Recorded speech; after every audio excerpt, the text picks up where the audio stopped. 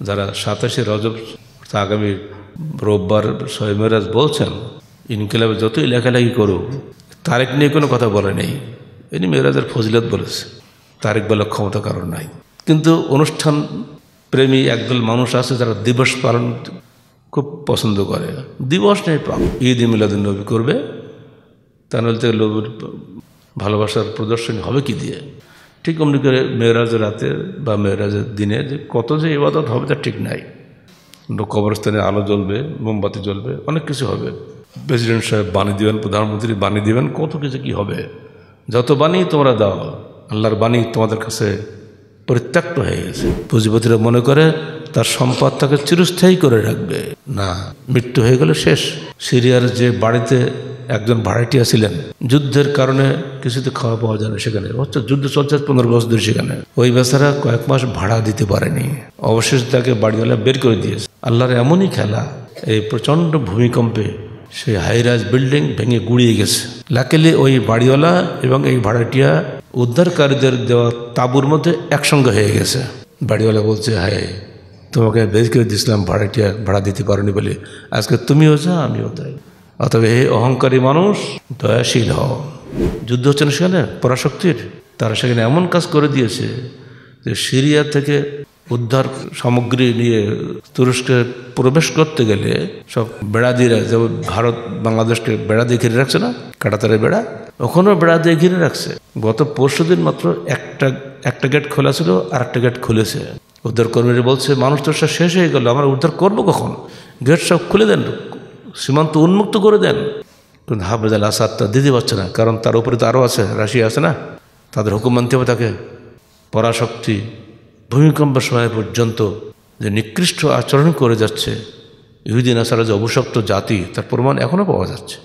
একেবারে অতি সাম্প্রতিক রিপোর্ট আসছে, পৃথিবীর তেষট্টি ভাগ মানুষের রুজি এক ভাগ লোকের শোষণকারী কাজ এই হিংস্র পুঁজিবাদ সারা বিশ্বকে গ্রাস করেছে আর এর পিছনে আছে শয়তানের রচনা ইসলামী অর্থনৈতিক শৃঙ্খল নিজে খেয়ে সুখী হয় না মুসলমান অন্যকে দিয়ে খুশি হয়। আহলেদিস আন্দোলন বাংলাদেশ আসুন পবিত্র কুরআন ও সহিদের আলোকে জীবন গড়ি। আলহামদুলিল্লাহ আলহামদুলিল্লাহ রবিল আলমিন রহমান রাহিম আলিক يا أيها الذين آمنوا اتقوا الله حق تقاته ولا تموتن إلا وأنتم مسلمون. يا أيها الناس اتقوا ربكم الذي خلقكم من نفس واحدة وخلق منها زوجها وبث منهما رجالا كثيرا ونساء. واتقوا الله الذي تساءلون به والأرحام. إن الله كان عليكم رقيبا. يا أيها الذين آمنوا اتقوا الله وقولوا قولا سديدا. يصلح لكم أعمالكم ويغفر لكم ذنوبكم. ومن يطع الله ورسوله فقد فاز فوزا عظيما. أما بعد فقد قال الله تعالى في الكلام المجيد فأعوذ بالله السميع العليم من الشيطان الرجيم. بسم الله الرحمن الرحيم. سبحان الذي أسرى بعبده ليلا من المسجد الحرام. إلى المسجد الأقصى الذي باركنا حوله لنريه من آياتنا وإنه إنه هو السميع البصير سورة بن إسرائيل এক যাবতীয় হামদোসানা আল্লাহ রবুল্লা আলমিনের জন্যে এবং যাবতীয় দরুদ সালাত শেষ নবী মোহাম্মদ রসুল্লাহ সাল্লাহ আলহি ওসাল্লামের জন্যে। বাংলাদেশে আগামী পরশু দিন রবিবার সবে মেরাজ পালিত হবে। সেই উপলক্ষেই আজকে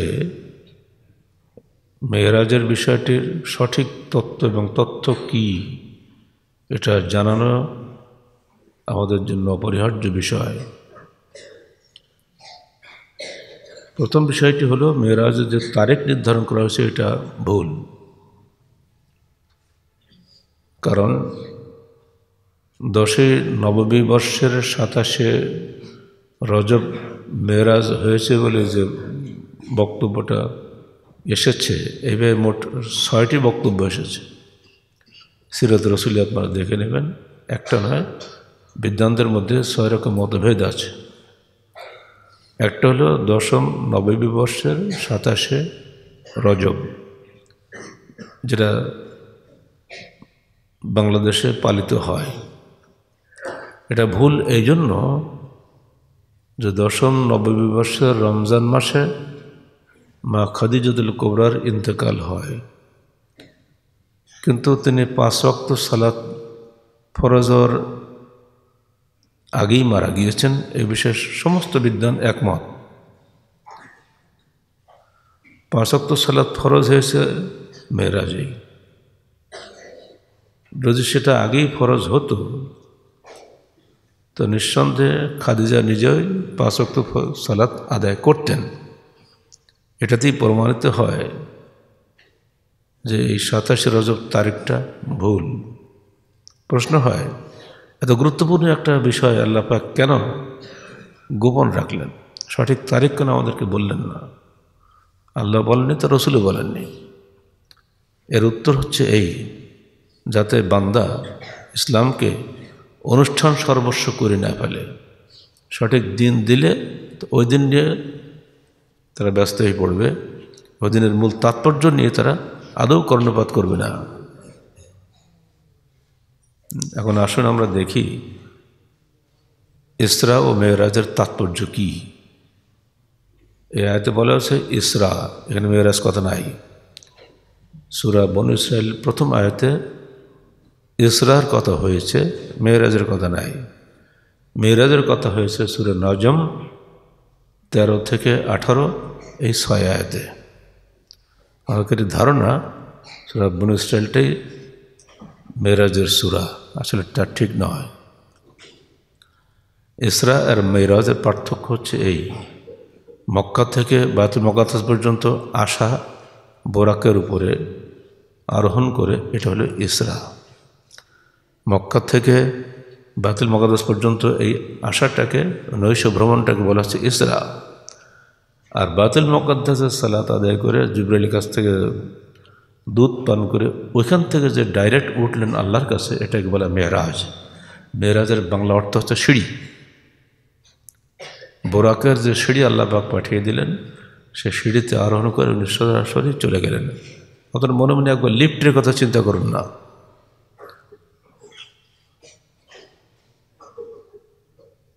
হারামের পাশে আবুবকর মসজিদ আছে, হোটেল হিলটন আছে। হোটেল হিলটনের মালিক আগে মুরগির ব্যবসা করতেন। মক্কার গলিতে গলিতে উনি মুরগি ফেরি করে বেচতেন। এই অতি গরিব মানুষটা, আল্লাহ তারপরে এমন রুজি প্রসারিত করে দিলেন যে তার বহু হোটেল সারা সৌদি আরবে আছে এমনকি স্বয়ং বাদশাহ তার হোটেলে একবার মেহমান হয়েছেন। বাদশাহ তাকে দাওয়াত দিয়ে খাইয়েছেন। যারা হজে যান বা উমরায় যান, তারা আবু বকর মসজিদে, বিশেষ করে বাঙালিরা ওখানে যায়। কারণ হারামে সিট পাওয়া যায় না, এত ভিড়। সব আবু বকর মসজিদেই আমরা যাই। ও মসজিদের সঙ্গে, মসজিদটাই হলে হারাম, হোটেল হিলটনের একটা অংশ। মালিক ওই অংশটা ছেড়ে দিয়েছে শুধু সালাদ আদায় করার জন্য। এই তিরিশতলা হোটেলে আমি যখন লিফটে উঠলাম তা মনে হলো চোখের পলকে চলে গেলাম ওপর তিরিশ তলার উপরে। এটা কি উঠলাম না কি হলো? আমাদের বাংলাদেশে যে লিফট, সেই লিফটে সে হেঁটে যাই ভালো। কিন্তু ও কি কি শক্তিশালী লিফট ওরা করেছে আল্লাহ জানে। উঠলাম, সুইচ টিপল, সরাসরি তিরিশতলা। মনে হলো বৈদ্যুতিক লিফট যা বাতুল মোকাদ্দাস থেকে আল্লাহর আরস পর্যন্ত চলে গিয়েছিল, সে কি চাইতে আরও জোরালো হবে না? নিঃসন্দেহে, ওটাই সেই সিঁড়ি বা যাকে বলে মেহরাজ। যারা আরবি গ্রামার জানো, তারা জানো ইসমে আলা। জারফে জামান জারফে মাকান আছে না, এটা মাকান। ওজনের করার স্থানটাকে বলে মিজান। আমরা দাড়িপাল্লা মাছ চাষ ওজন করি না, এর নাম হচ্ছে মিজান। তো এখানে অরুজ মানে উঠা, চড়া, আরোহণ করা। মেহরাজ যা যার উপরে বসে আরোহণ করতে হয়। দ্যাট ইজ আধুনিক ভাষায় লিফট। এই মেয়েরাজটা হয়েছে বাতুল মকদ্দাস থেকে, আর ইসরা হয়েছে হারাম থেকে বাতুল্লাহ থেকে, মক্কা থেকে। অতএব ইসরা এবং মেরাজ দুটো পৃথক জিনিস। আল্লাহ ইচ্ছা করলে সরাসরি মেয়েরাজ তো মক্কা থেকেও করতে পারতেন। প্রশ্ন আসবে, এর উত্তর হলো এই।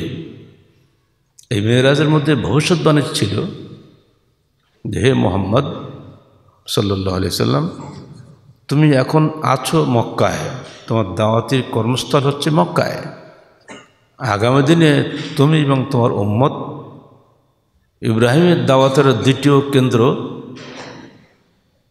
বাতুল মকাদ্দাসের উপরে তোমরা আধিপত্য বিস্তার করবে। চিরকাল তুমি এখানে থাকবে না, কারণ তোমার মূল উৎস তোমার পিতা ইব্রাহিম। আর ইব্রাহিমের দাওয়াতের কেন্দ্র ছিল বাতুল মকাদ্দাস। আর শুধু ইব্রাহিম নয়, যত নবী, প্রায় পাঁচ হাজার নবীর দাওয়াতের কেন্দ্র হচ্ছে বাতুল মকাদ্দাস। সর্বশেষ নবী ঈসা পর্যন্ত সেখানে। অতএব তুমি যেহেতু বিশ্ব নবী, তুমি সেরেফ মক্কার নবী নও, অতএব মক্কা, মদিনা তৌহিদের দুই কেন্দ্র, দুটার উপরে তোমার উম্মতের আধিপত্য আসবে। আলহামদুলিল্লাহ সেটা এসেছিল। আল্লাহ নবী জানতেন না যে তাকে মক্কাতে মদিনা হিজরত করতে হবে। ঘটনা হলো, দশম নবী হিজরের বর্ষের আর হিজরত করলেন উনি চোদ্দ নববী বর্ষের সাতাশে সফর। তিন বছর পরে, চার বছর পরে তার ভাগ্যে কী আছে উনি জানতেন নাকি? আল্লাহ কিন্তু আগেই ইঙ্গিতে বলে দিয়েছেন। আল্লাহ রসুলের মৃত্যুর পরে পনেরো হিজড়িতে ওমর ফারুকের খেলাফত করে বাতুল মকদ্দাস বিজয় হয়ে যায়। বলে আলহামদুলিল্লাহ। দুর্ভাগ্য ইহুদিন আসারা পরাশক্তির বলব, অপশক্তির চক্রান্তের কারণে মুসলিম অধ্যুষিত বাতুল মকদ্দাস থেকে মুসলিম উম্মা বিতাড়িত হয়ে আজ পর্যন্ত মধ্যপ্রাচ্যের বিভিন্ন দেশে মহাজির হিসেবে বসবাস করছে। দশ লক্ষ মুসলিমকে বিতাড়িত করা হয়েছে। আর সারা দুনিয়া থেকে ইহুদিদেরকে এনে সেখানে বসানো হচ্ছে।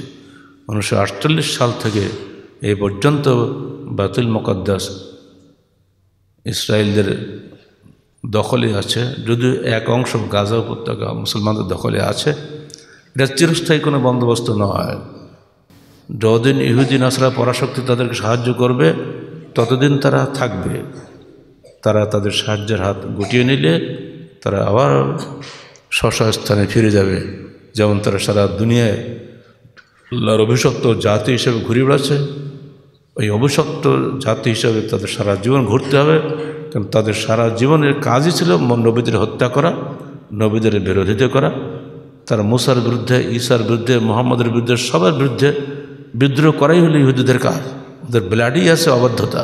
এর জন্য আমরা বলি সুরে ফাতেহাতে, গায়রিল মকদুবি আলাইহিম দলেন আল্লাহ তুমি আমাদেরকে অভিশপ্ত ইহুদিদের মতো করো না। এবং পথভ্রষ্ট নাসারাদের অন্তর্ভুক্ত করো না। আল্লাহ আমিন। আল্লাহ বলছেন সুবহান আল্লাদি আসরাবে আব্দি লাইলাম মিনাল মসজিদুল হারাম ইলাল মসজিদুল আকসাল্লাদি বারকনা হাউলাহু লেনুরিয়াহু মিন আয়াতিনা। ইন্নাহু হুয়াস বাসির। মহাপবিত্র সেই সত্তা যিনি তার বান্দাকে রাতের বেলায় মসজিদুল হারাম থেকে মসজিদুল আকসা দিকে নিয়ে যান, নৈশ ভ্রমণ করান। মসজিদ আকসাটা কি? বা রকনা হাউলাহ যার চারপাশকে আমি পবিত্র করেছি। অর্থাৎ এখন থেকে আমরা সিরিয়া বলছি এসব কিন্তু বাতুল মকাদ্দাস এরিয়ার, শামের মধ্যে। এই এলাকার মর্যাদা সম্পর্কে হাদিসে, অনেক হাদিস এসেছে। এখানে এখানে ঈসা আলাহিসাল্লাম শেষ বক্তাত কেয়ামতের আগে অবতরণ করবেন। দুর্ভাগ্য সেই সিরিয়া, কঠিন অবস্থার মধ্যে এখন আসছে আপনারা জানেন, ভূমিকম্প বিধ্বস্ত হয়ে আসছে এখন। কেন তাকে এটা করালাম? লেনুরি আহুমেন আয়াতেনা, যাতে আমরা মোহাম্মদকে দেখাতে পারি আমার নিদর্শন সমূহের কিছু অংশ। ইন্নাহু হুয়াসামিউল বসির, নিশ্চয়ই তিনি সর্বশ্রোতা ও সর্বদ্রষ্টা। প্রশ্ন হলো, তিনি কি দেখিয়েছিলেন? আল্লাপাক দেখাতে গেলেনই বা কেন? পৃথিবীতে যদি এক লক্ষ চব্বিশ হাজার নবী রসুল এসে থাকেন, কোনো নবীকে আল্লাপাক আখরাতের নিদর্শন দেখাননি। সবাই দুনিয়াতেই সব দেখিয়েছেন। ইব্রাহিমকে তিনি দুনিয়াতে দেখাননি। ওকাদালিকা নুরি ইব্রাহিম মালাকুত সামাওয়াত ওয়াল আরদ ওয়ালিয়াকুনা মিনাল মুকিনিন সূরা শুআরা 76 আয়াত। আমরা ইব্রাহিমকে দেখিয়েছি অনেক নিদর্শন যাতে সে মুকিনিন হয়, দৃঢ় বিশ্বাসী হয়। ইব্রাহিম একদিন বললেন, হে আল্লাহ, তুমি যে মারতে পারো, জিন্দা করতে পারো, এটা প্রমাণ দেখাও না। আল্লাহ বলছে, তুমি কি বিশ্বাস করো না? তাহলে অবশ্যই বিশ্বাস করি। ওলা কিনলে ইয়াতমাইন না কলবি। আমার হৃদয়ের প্রশান্তির জন্য আমি এটা তোমাকে বলছি। ঠিক আছে। তাহলে পাখি এটা ধরো, টুকরা টুকরা করো চার পাহাড়ের চার টুকরা রেখে আসো। এবার তুমি ডাকো, দেখবা এতিকা সাইয়া, ওরা দৌড়ি তোমাকে চলে আসবে। দেখলেন সচক। এটা কোথায়? কি আখড়াতে না দুনিয়ায়? দুনিয়ায়।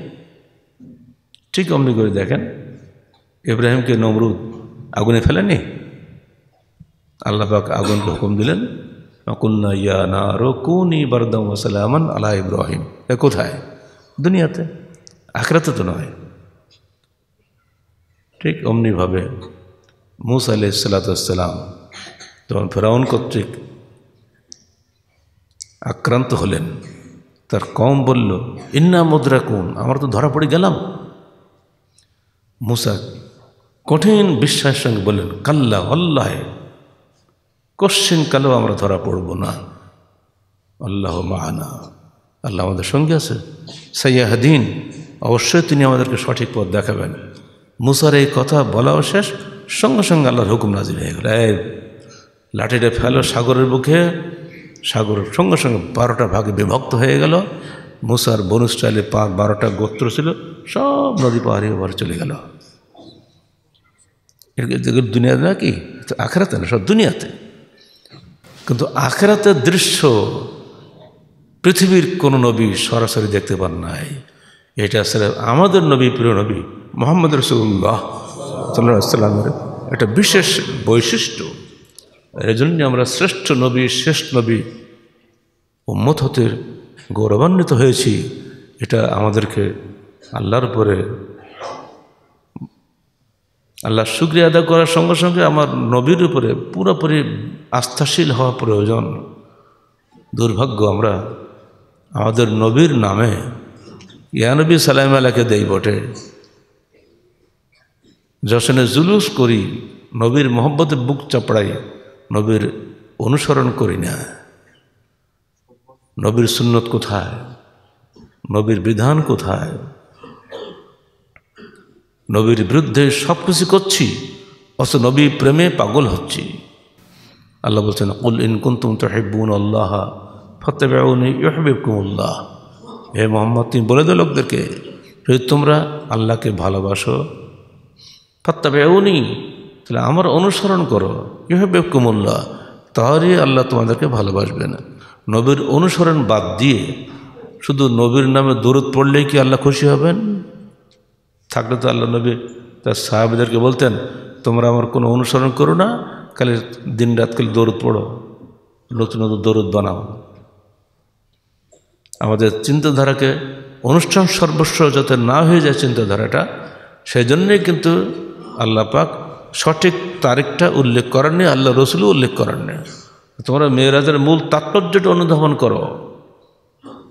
তারিখ নিয়ে ব্যস্ত হয়ে না। সরাসরি জিব্রিল নিজে এসে এগুলো করেছেন, তা ব্যাখ্যা দিচ্ছেন সুরা নজম, তেরো থেকে আঠারো আয়াত। আল্লাহ বলছেন আল্লাহ আহু নজলতন ওখরা এন্দা সিদরতুল মমতাহা এন্দাহা জান্নাতুল মাওয়া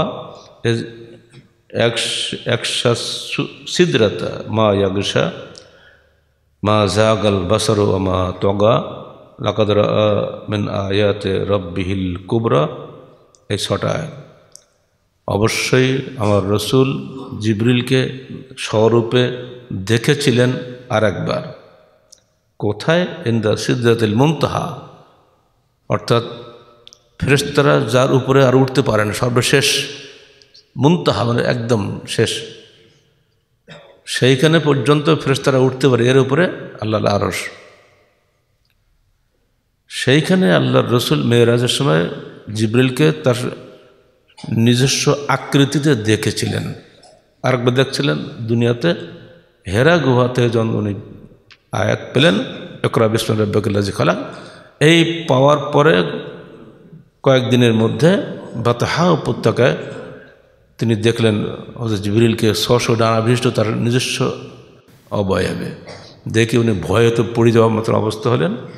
জাম্মালুন ইতিহাস তো আপনার জানেনি তো এটা ঘটনাটা এখানে যে তিনি মেয়েরাজে অবশ্যই গেছিলেন নাহলে উনি সিদ্ধাতুল মুমতাহ দেখলেন কীভাবে? ইবন আব্বাস বলছেন, আল্লাহ দেখেন বলছেন, লেনুরিয়াহু মিন আয়াতেনা। আমরা তাকে আমার নিদর্শন সময়ের কিছু অংশ দেখাবো এই জন্য মানে কি আপনার বলেন আয়াতি বললে তো হয়তো আমার নিদর্শন সময়ের একটি নিদর্শন দেখাবো? তো আল্লাহ আয়াত তেনা আমাদের নিদর্শন কথা বললেন আল্লাহ কি মেলা নাকি? আল্লাহ তো একটাই। তা আমাদের কেন বলা হলো? আমাদের তফসিল যারা পড়েন তারা আমাকে ভুল ধরে যে স্যারে কী লিখছে? কোনো যা বলে, আমাদের, আল্লাহ কি মেলা? আমার বললি হয়। বাংলাদেশে যতগুলো অনুবাদ আমাদের সামনে আছে কোরআনের অনুবাদ, কেউ আমরা লেখিনি সব আমি লিখছি। কিন্তু আল্লাহ বলছে আমরা, আর আমি অনুবাদ করছি আমি, হবে? আল্লাহর ভাষার সঙ্গে পরিবর্তন করা হবে না? এ আমরা বলা হয় তার সর্বোচ্চ সত্তার বড়ত্ব বোঝানোর জন্য। তিনি সমস্ত সম্মানের উপরে সম্মানপ্রাপ্ত সত্তা হিসেবে তার বড়ত্ব বোঝানোর জন্য আমরা উনি বলেন। কিন্তু যেখানে সেরেফ তৌহিদ বোঝানো হয়, সেখানে সেরেফ আমি বলেন। ইন্নানি আনাল্লাহ ইলা ইল্লা আনা ফাবুদ্নি ও আকিমি সালাত জিক্রি সুরা তহর এই দুই আয়াতে উনি একই জায়গায় পাঁচবার আমি আমি আমি আমি আমি বলেছেন। এখানে আমি সেরকম শরিক নাই। আর আমরা ওনার উচ্চ সম্মান বোঝানোর জন্য বলা হয়। তাছাড়া তার হুকুমতে ফেরত তারাও তো কাজ করে। অতএব এটা কোনো ভয়ের কারণ মনে করবেন এটা ভুল নয়। এটা আরবি ভাষার বাকৃতির অন্তর্ভুক্ত। আমরাও কিন্তু বাংলা ভাষাতেও বলি। আমরা কেউ সরাসরি আমি বলি না। যদিও আমি কাজটা করেছি, তা আমরা বলি যে আমরা করেছি, তাই না? এতে নিরহংকারের একটা প্রমাণ। আমি করার মধ্যে একটা অহংকার চলে আসে। কিন্তু আমি নিজে করলেও কিন্তু বলা হয় আমরা করেছি, কারণ আমি সাথীদের নিয়ে তো কাজ করি। প্রত্যেকটা বিষয় আমরা এগুলো বাংলা ভাষাতেই, এই বাকৃতি আছে, অন্য ভাষাতেও আছে, প্রায় সব ভাষাতেই এরকম আছে। তুমি আর আপনি ফারাক নেই, সে আর তিনি ফারাক নেই। সম্মানবোধক কোরআনও এরকমই আছে। আপনারা জানেন, আরবি ভাষা পৃথিবীর সবচেয়ে সবচেয়ে সম্মানজনক এবং গুরুত্বপূর্ণ ভাষা এবং সমস্ত ভাষার মাওনি যত ভাষা হয়েছে সব পরবর্তীকালে। আর ইসমাইল আল ইসলাম তো বলে, তিনি আরবি ভাষার মূল ফাসিহুল লেসান ছিলেন তিনি, সরল ভাষী। যাই হোক, ওদিকে ভাষার দিকে যাচ্ছি না। মূলত এটা কোনো ভুল নয়। আল্লাহ যেখানে নিজেকে আমরা বলেছেন, আমরা অনুবাদে সেখানে আমরাই বলব। সেখানে আমি বলা মানে আল্লাহর ভুল ধরা আল্লাহ তো আমি বলতে পারতো, বললি কেন? তাই না? ইঙ্গিতে তাই বোঝানো হয়, এটা অনুবাদ ঠিক হবে না। আল্লাহ বলছেন লে নুরিয়াহুমিন আয়াতে না আমরা আমার নবীকে আমাদের আয়াত সময়ের অর্থাৎ নিদর্শন সময়ের কিছু অংশ দেখাবো। অধিকাংশ অনুবাদে বলা হয়েছে, আমাদের নিদর্শন সমূহ দেখাবো, নিদর্শনাবলী দেখাবো। সমস্ত নিদর্শনকে দেখানো সম্ভব? আল্লাহর সাথে দেখাননি। যেটুকু তিনি প্রয়োজন মনে করেছেন, ততটুকু তিনি দেখিয়েছেন। যেমন আপনাকে একটা ছোট্ট উদাহরণ দিই। এক পর্যায়ে জিবরিল বললেন, ওইটা তোমার বাসস্থান। ওটা কি? মকামে মাহমুদ। আমি তো এখন যাব, দেখে আসি বাড়িটা কীরকম। মন চায় না? আমার জন্য আল্লাহ বাড়ি মানে একসাথে আমি দেখে আসি। তো না এখনও তোমার আয়ু আছে, তুমি মরার পরে ওখানে তুমি আসবা।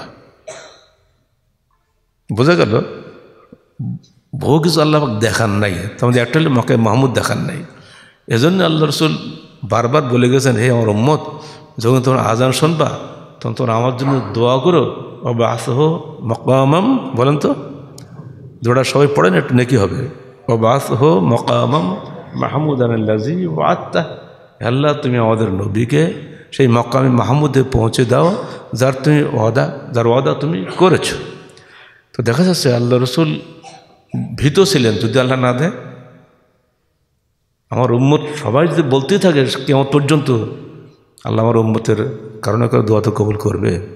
চিন্তা করেন, উনি নিশ্চিত যে আল্লাহ অবশ্যই দিবে। এর পরেও সাবধানতা, অতি সাবধানতা। তা আমরা তো পাপি মানুষ। আমাদের তো বারবার আল্লাহ কাছে কান্নার দরকার। আল্লাহ কত যে ভুল হচ্ছে, ডেলি হচ্ছে, তো ঠিক নাই। তোমার ক্ষমা ছাড়া আমাদের বাঁচার কোনো উপায় নাই। রব্বানা ওলা তাহমিল্লা লা তাহমিল আলাইনা ইসরান কামা হামাল তো আল্লাহ দিন কবলানা রব্বানা ওলা তো হামিল্লা মালা তো আকতালানা বি ওয়াফান্না অগফিরলানা ওরহামনা আন্তা মৌলানা ফানসুরনা আল্লাহ কমিল কাফরিন। আছে না এগুলো বারবার পড়তে হয়। সুরে বাকারার এই শেষ দুই আয়াত, এটাও কিন্তু মেয়েরাজে নাজিল হয়েছিল। অতএব হাদিসে আসছে, যে ব্যক্তি রাত্রিতে সুরে বাকারা বা বাকারা কিছু অংশ পড়ে, পাঠ করে শোয়, তার ওই রাত্রিতে কোনো বিবাদ হয় না। আপনারা সুরে বাকারার কিছু অংশ মানে শেষ দুটো আপাতত প্রায় সবারই মুখস্থ আছে। এটা আপনারা পড়বেন। লিল্লাহ মাহফিজ সামাওয়াত মাহফিজ থেকে শেষ পর্যন্ত।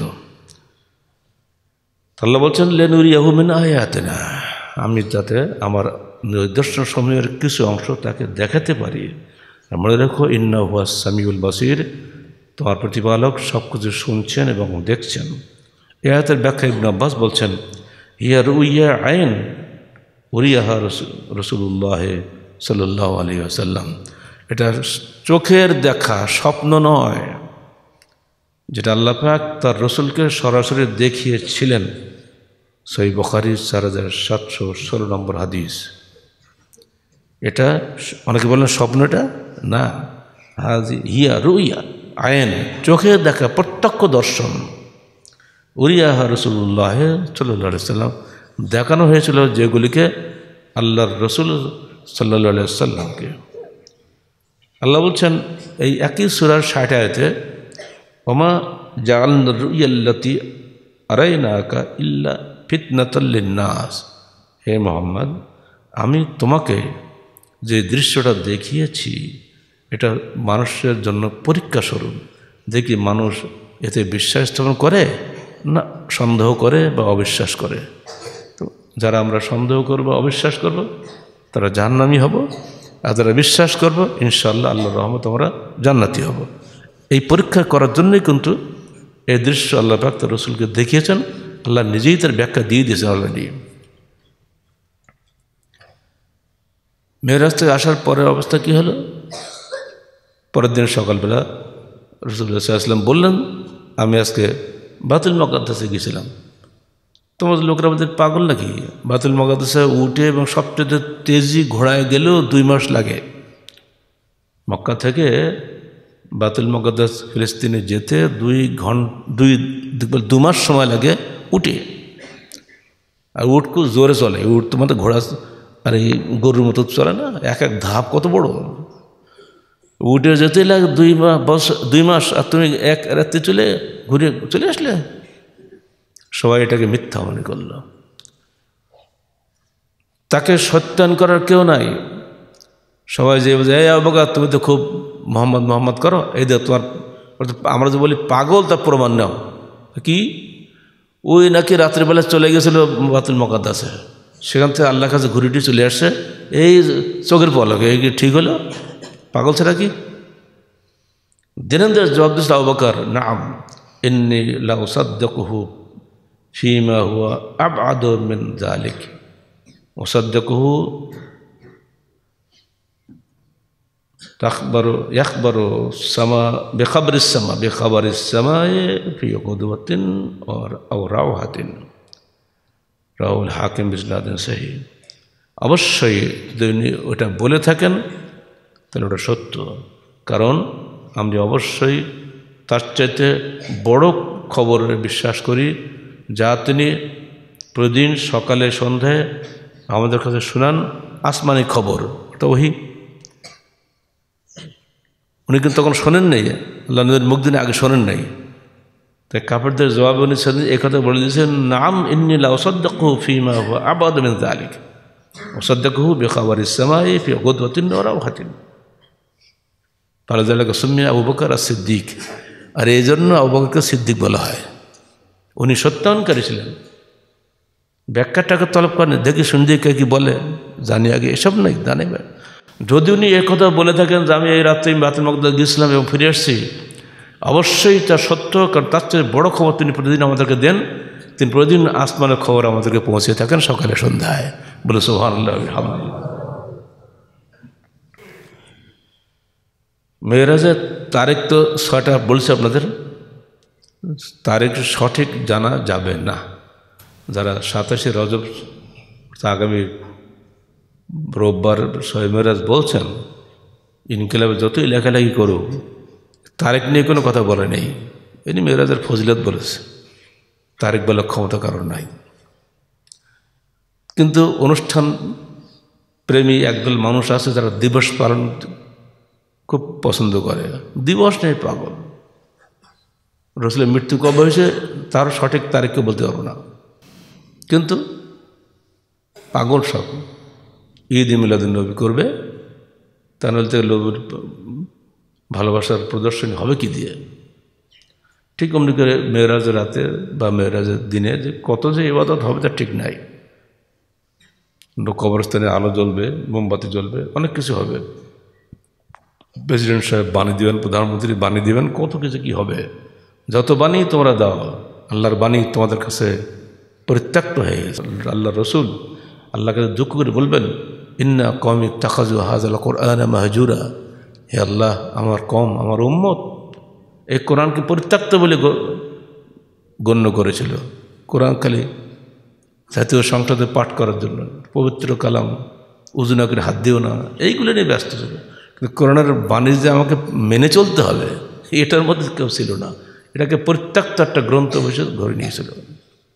আমরা যখন বাড়িতে কোরআন সবার করে রাখি না সবার উপরে রাখি, সম্মান করে রাখি, কিন্তু মানি না। অন্য সব বই পড়ি, কোরআন পড়ি না। কোরআনে যে কী বলা আছে এটা আমরা জানি না। আর জানলে তো মানতে হবে, এজন্য পড়ে না। বাতুল মকদ্দাস থেকে মেরাজের কারণ ছিল, আমরা আপনাকে বলেছি, আজকের সারা পৃথিবী নতুন একটি দর্শন বা আদর্শের দিকে তাকিয়ে আছে। অপলক নয়নে প্রচলিত যত তন্ত্র মন্ত্র পরীক্ষা সব হয়ে গেছে। এক কোটি ছত্রিশ লক্ষ মানুষের রক্তের বিনিময়ে সোভিয়েট রাশিয়া প্রতিষ্ঠা লাভ করেছিল। এক কোটি ষোলো লক্ষ মানুষের রক্তের বিনিময়ে চাইনিজ সমাজতন্ত্র প্রতিষ্ঠা লাভ করেছিল মহাসুদ্দিনের নেতৃত্বে। কিন্তু সব ব্যর্থ। মানুষ সবাই আবার শয়তানি পুঁজিবাদের দিকে ফিরে গেছে। শয়তান সবসময় চায় আমার টাকা আমার কাছে থাক, কাউকে দেব না। পুঁজিবাদের মূল প্ররোচনার দাতা হচ্ছে ইবলিস। আর ইসলাম চায় আল্লাহর মাল, আল্লাহর বান্দাদের মধ্যে ছড়িয়ে দিতে। অমামিন দাব বাতিন আল্লাহ এই পৃথিবীতে এমন কোনো প্রাণী নেই যার রিজিকের দায়িত্ব আল্লাহর উপরে নেই। আল্লাহ সে রিজিকের বন্টনের দায়িত্ব দিয়েছেন মুসলমানদের উপরে মানুষের উপরে। মানুষ সেগুলো বন্টন না করে নিজে রেখে দিচ্ছে। অসংখ্য মানুষ আজকে না খেয়ে মরতেছে, কোনো খবর নেই। এমন কিছু ভূমিকম্প দূষিত সিরিয়া পেপার পড়লে তো মাথা খারাপ হয়ে যায়। মানুষ এত নিষ্ঠুর কী করে হয়? যুদ্ধ হচ্ছে না সেখানে? পরাশক্তির? তারা সেখানে এমন কাজ করে দিয়েছে যে সিরিয়া থেকে উদ্ধার সামগ্রী নিয়ে তুরস্কে প্রবেশ করতে গেলে সব বেড়া দিয়ে যেমন ভারত, বাংলাদেশকে বেড়া দিয়ে ঘিরে রাখছে না? কাটাতারে বেড়া? ওখানেও বেড়া দিয়ে ঘিরে রাখছে। গত পরশু দিন মাত্র একটা একটা গেট খোলা ছিল আর একটা গেট খুলেছে। উদ্ধার কর্মীরা বলছে, মানুষ তো সব শেষ হয়ে গেল, আমরা উদ্ধার করব কখন? গেট সব খুলে দেন, সীমান্ত উন্মুক্ত করে দেন। কিন্তু হাফেজ আল আসাদ তা দিতে পারছে না, কারণ তার উপরে তো আরও আছে, রাশিয়া আছে না? তাদের হুকুম মানতে হবে তাকে। পরাশক্তি ভূমিকম্পের সময় পর্যন্ত যে নিকৃষ্ট আচরণ করে যাচ্ছে ইহুদিন আসারা যে অভিশপ্ত জাতি, তার প্রমাণ এখনও পাওয়া যাচ্ছে। মৃত্যু দশ, ভূমিকম্পের দশ দিন পরেও আজকের পেপারে দেখেন এখনও জীবনের সন্ধান পাওয়া গেছে। দশ দিন পরেও এখন মানুষ বেঁচে আছে। অথচ আল্লাহর বান্দাদেরকে সেখানে যেতে দিতে বাধা দিচ্ছে এই পরাশক্তি। কাকে কি বলবেন? মানুষ এইভাবে আল্লাহর রুজিকে নিজেদের মধ্যে রেখে দিচ্ছে। এমনকি একটা হিসাবে এসেছে, পৃথিবীর যত রুজি আল্লাহ দান করেছেন, শুধু প্রতিদিন সকালবেলা নাস্তার টাকাটা যদি আমেরিকানরা দান করে দেয় মানুষের কাছে এশিয়া মহাদেশের লোকেরা এক বছর খেয়েই বাঁচবে। সব নিজেরা খাবে। আর সে একেবারে অতি সাম্প্রতিক রিপোর্ট আসছে পৃথিবীর তেষট্টি ভাগ মানুষের রুজি এক ভাগ লোকের শোষণ করে খাচ্ছে। এই হিংস্র পুঁজিবাদ সারা বিশ্বকে গ্রাস করেছে আর এর পিছনে আছে শয়তানি প্ররোচনা ইসলামী অর্থনীতি কোশ্চিনকাল নিজে খেয়ে সুখী হয় না, মুসলমান অন্যকে দিয়ে খুশি হয়। কারণ যেটা সে দেয়, সেটা তার নিজের আকারাতে সে ঋণ দিচ্ছে। আর যেটা সে খায়, সেটা কোনো অতক্ষণ পর্যন্ত কাজে লাগে, যতক্ষণ তার পরবর্তী ক্ষুধা না লাগে। মুসলমানের ইসলামের অর্থনীতি পরকালমুখী এবং মানবিক কল্যাণে নিয়োজিত। পুঁজিবাদী অর্থনীতি দুনিয়ামুখী, মানবতার শোষণে নিয়োজিত। এই পুঁজিবাদের বিরুদ্ধে এত সংগ্রাম করেও রাশিয়া, চীন অবশেষে আবার সে পুঁজিবাদ দিকেই টার্ন করেছে। আমাদের উচিত ছিল আল্লাহর রুজিকে আল্লাহর বান্দাদের মধ্যে ছড়িয়ে দেওয়া। কারণ এর মাধ্যমে পৃথিবী সুশলার শ্যামর শস্য শ্যামলা হবে। সকল মানুষ হাসবে, সকল মানুষ ভালো থাকবে। মানবতার কল্যাণে আমাদের জীবন ব্যয়িত হবে। মানুষের হাসি মুখ দেখলে প্রত্যেক মানুষের অন্তরে আনন্দ আসে। আমি একাই কোটিপতি হব। বাকিটা কে খাবে? কি খাবে? এত কত খাওয়া লাগে? ওয়াইলুল্লিকুল্ল হোমাজাতুল লোমাজাতুল্লাজি জামা মা আলহ আদাদা এহাসাবু আন্না মা আলহ আখলাদা পুঁজিপতিরা মনে করে তার সম্পদ তাকে চিরস্থায়ী করে রাখবে। না, ভুল কথা। মৃত্যু হয়ে গেল শেষ।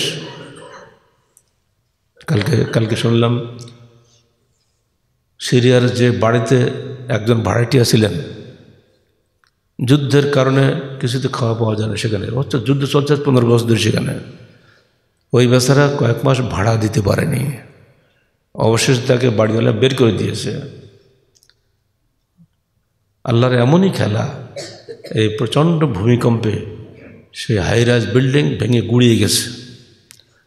লাকেলে ওই বাড়িওয়ালা এবং এই ভাড়াটিয়া উদ্ধারকারীদের দেওয়া তাঁবুর মধ্যে একসঙ্গে হয়ে গেছে। বাড়িওয়ালা বলছে হ্যাঁ তোমাকে বেশ করে দিয়েছিলাম, ভাড়াটিয়া, ভাড়া দিতে পারোনি বলে। আজকে তুমিও যা আমিও তাই। আল্লাহ দেখাচ্ছে না এগুলো দুনিয়াতে। অতএব হে অহংকারী মানুষ, দয়াশীল হও। তোমার পরিণতি স্মরণ করো। নিঃশ্বাস চলে গেলেই তুমি শেষ। তোমার সন্তান তোমার লাশটা দ্রুত দাফন করবে কবরের মাটিতে। কেউ তোমাকে খাতির করবে না। অতএব মৃত্যু আসার আগেই নিজেকে পরকালের পাথর সঞ্চয়ে ব্রতী হও। আল্লাহবাক আমাদের সবাইকে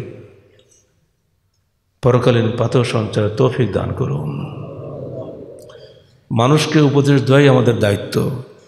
কারণ আল্লাহবাক বলছেন অজাক্কের ফাইনাল দেখরান ফল মোমিনিন। তোরা মানুষকে উপদেশ দাও, কারণ উপদেশ মানুষের কল্যাণ করে। আর উপদেশের জন্য বৃহত্তর আঙ্গিকে আহলে চান্দন বাংলাদেশের উদ্যোগে প্রতি বছর রাজশাহীতে তবলিগি ইস্তফার আয়োজন করা হয়। আগামী বৃহস্পতি শুক্রবারে তেত্রিশতম বার্ষিক তবলিগি ইস্তমা অন্যবারের ন্যায় ট্রাক টার্মিনালেই অনুষ্ঠিত হবে। আপনারা সবাই এই অনুষ্ঠিতব্য তবলিগি ইস্তমায় অংশগ্রহণের জন্য এখন থেকে নিয়ত করুন। এবং আল্লাহকে দোয়া করুন, আল্লাহ পাকদিন এটাকে সাফল্যমণ্ডিত করেন।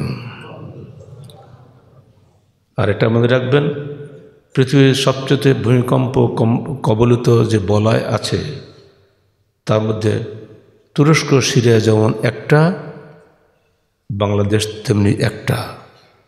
ওই ভূমিকম্প বাংলাদেশও যে কোনো সময় আসতে পারে। গতকালকে সকাল নটা ছাপ্পান্ন মিনিটে সিলেটের সাতকে এই ভূমিকম্পর কম্পন অনুভূত হয়েছে। অবশ্য কম, চার পয়েন্ট ছত্রিশ। বিগত ষোলো বছরে বাংলা, বাংলাদেশে প্রায় বিশটা সম ভূমিকম্প হয়ে গেছে। অর্থাৎ যে কোনো সময় দ্রুত গতিতে বিশাল ভূমিকম্প যদি এসে যায়, তো তুরস্ক তো বাংলাদেশে এদের তেত্রিশ গুণ বড়।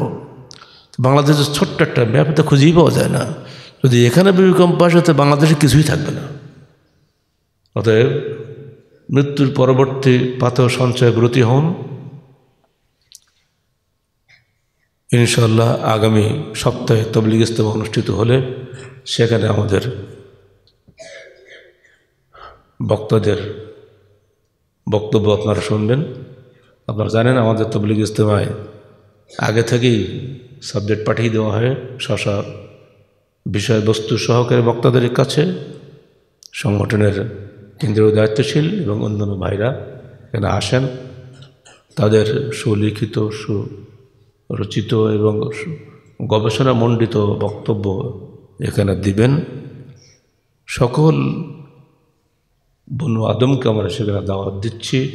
মুসলিম হন অমুসলিম হন, কারোর প্রতি আমাদের কোনো আক্রোশ নাই। সবাই এখানে আসতে পারেন। কারণ আমরা সবাই এক আদম সন্তান, আমরা সবাই এক আল্লাহর বান্দা। অতএব এই সঙ্গে যোগ দিচ্ছি এলাকাবাসীকে, আপনারা এটা যেন ব্যবসায়িক সেন্টার বানাবেন না। ইসলাম যে সমস্ত ব্যবসা অনুমোদন দেয়, সেইগুলো কর্তৃপক্ষের অনুমোদন নিয়েই আপনারা এখানে আসবেন। ইসলাম বিরোধী ছবি, মূর্তি আবল যত সব বিক্রি হয় গান, বাজনা, বাঁশি টাসি ইত্যাদি যেগুলি বাজারে হয়, এইসবগুলো আল্লাহর হস্তে আপনারা এইসব করবেন না। তো আল্লাহর রহমত আমাদের থেকে উঠে যাবে। এটা ব্যবসায়িক কেন্দ্র বানাবেন না। দ্বিতীয়ত ব্যবসায়ীদেরকে বলব, অবশ্যই আপনারা বেশি বেশি করে তবলিগ ইজতেমায় ইয়ানত দেবেন। প্রতিদিন একবার বা দুবার করে দেওয়ার চেষ্টা করবেন। কারণ এটা আপনাদের একটা বড় ব্যবসায়ের সুযোগ। সেই সঙ্গে নেকি অর্জনেরও সুযোগ। আল্লাহবাক আমাদের সবাইকে এই সত্য দিনকে প্রতিষ্ঠিত করার জন্য, বিশুদ্ধ ইসলামের এই দাওয়াত শ্রবণের জন্য আমার সবাইকে আল্লাহবাক তৌফিক দান করুন। আমি উদ্বোধন হবে বিকাল চারটে আসরের পরে। কিন্তু সাধারণভাবে একদিন আগে থেকেই মানুষ চলে আসে। কেউ বসে থাকবেন না। সবাইকে বক্তব্য শোনানো হবে। আমাদের সে ব্যবস্থাও করা আছে। যেমন গতবারে আমরা দেখেছি দশটাতে শুরু হয়ে গেছিল। বা ফজর শুরু হয়ে গেছিল। তো এবার তো দেখা যাচ্ছে আগের দিন বাদ এসাতে শুরু হতে পারে। মানুষের যা আবেগ, একদিন আগেই চলে আসে, কোনো সমস্যা নেই আসেন অলওয়েজ ওয়াজ চলবে, আলহামদুলিল্লাহ।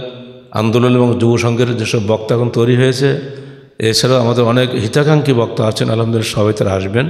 সুযোগ পেলেই আমরা তাদেরকে আপনাদের খেদমতে নিয়োজিত করব। তো আনুষ্ঠানিক শুরু হবে সংগঠনের আমিরের উদ্বোধনী ভাষণের মাধ্যমে আসরের পরে। এবং একটা চলতেই থাকবে। আল্লাহ পাক আমাদের সবাইকে সেখানে সঠিক সময়ে উপস্থিত হওয়ার তৌফিক দান করুন।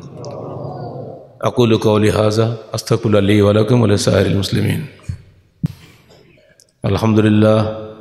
الحمد لله نحمده ونستعينه ونستغفره ونؤمن به ونتوكل عليه ونعوذ بالله من شرور أنفسنا ومن سيئات أعمالنا من يهده الله فلا مضل له ومن يضلل فلا هادي له ونشهد أن لا إله إلا الله وحده لا شريك له ونشهد أن محمدا عبده ورسوله إن الله وملائكته يصلون على النبي.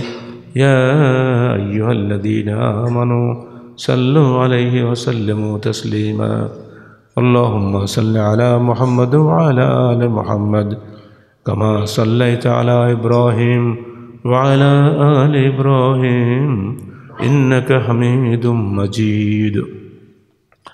اللهم بارك على محمد وعلى آل محمد كما باركت على إبراهيم وعلى آل إبراهيم إنك حميد مجيد. اللهم انصر من نصر دين محمد صلى الله عليه وسلم واجعلنا منهم واخذل من خذل دين محمد صلى الله عليه وسلم ولا تجعلنا منهم. عباد الله، رحمكم الله، إن الله يأمركم بالعدل والإحسان وإيتاء ذي القربى وينهى عن الفحشاء والمنكر والبغي يعظكم لعلكم تذكرون. واذكروا الله يذكركم وادعوه يستجب لكم ولذكر الله تعالى وعلى وعز وجل وأتم وأهم أكبر.